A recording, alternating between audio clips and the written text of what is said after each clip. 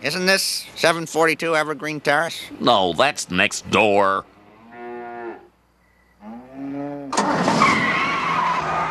Close, but no donut, cops. This is Papa Bear. Put out an APB for a male suspect driving a car of some sort, heading in the direction of a place that sells chili.